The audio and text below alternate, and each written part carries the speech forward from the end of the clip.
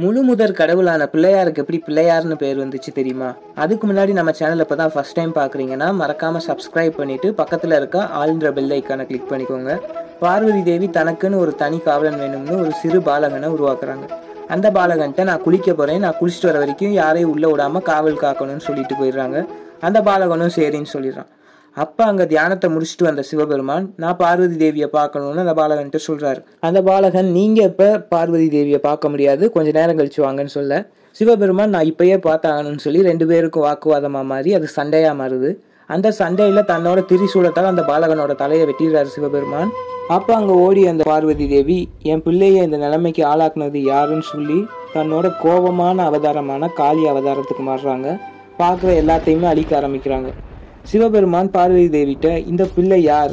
ஏன் இந்த பிள்ளைக்காண்டி இப்படி ஒரு ஆர்ப்பாட்டம் பண்ணிக்கிட்டு இருக்கேன்னு பார்வதி தேவிட்ட சிவபெருமான் கேட்குறாரு அதுக்கு பார்வதி தேவி கோபத்தோட சிவபெருமான்கிட்ட நான் தான் என்னோட காவலுக்காண்டி அந்த பாலகனை உருவாக்குனேன். நான் தான் குளிச்சுட்டு வர வரைக்கும் யாரையும் உள்ளே விடக்கூடாதுன்னு உத்தரவு போட்டு போனேன். அவன் நான் சொன்னதை தான் செஞ்சான். அதுக்கு ஏன் அவனுக்கு இவ்வளோ பெரிய தண்டனை கொடுத்துட்டீங்க. எனக்கு என் பையன் உயிரோட வேணும்னு கோபத்தோட சிவபெருமான்கிட்ட பார்வதி தேவி சொல்லிடுறாங்க. சிவபெருமான் பார்வதி தேவிட்ட அந்த பாலகனுக்கு உயிர் தரேன்னு சொல்லிட்டு தன்னோட பூதகணங்களுக்கு கட்டளையிடுறாரு.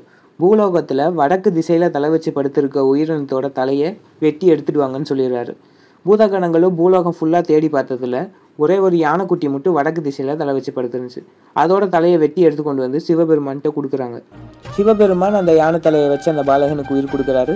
கோபத்தோடு இருந்த பார்வதி தேவி தன்னோட பிள்ளைய உயிரோட பார்த்ததுனால மகிழ்ச்சி ஆயிடுறாங்க சாந்தமாயிடுறாங்க. பிள்ளையாருன்ற பேர் எப்படி வந்துச்சுன்னா சிவபெருமான் பார்வதி தேவி கோபமாக இருக்கும்போது பார்வதி தேவியை பார்த்து அந்த பிள்ளைக்காண்டி ஏன் இப்படி ஒரு ஆர்ப்பாட்டம் பண்ணிக்கிட்டு இருக்க? அந்த பிள்ளை யாருன்னு கேட்டார்ல அதுவே அவரது பெயராக மாறிடுச்சு. இந்த வீடியோ பிடிச்சிருந்துச்சுன்னா லைக் பண்ணிக்கோங்க. தொடர்ந்து பல சுவாரஸ்யமான தகவல்களை தெரிஞ்சுக்கொள்ள நம்ம காட்ஸ் வேர்ல்ட் தமிழ் சேனலை சப்ஸ்கிரைப் பண்ணிவிட்டு பக்கத்தில் இருக்க ஆழ்ந்த நோட்டிஃபிகேஷனை கிளிக் பண்ணிக்கோங்க.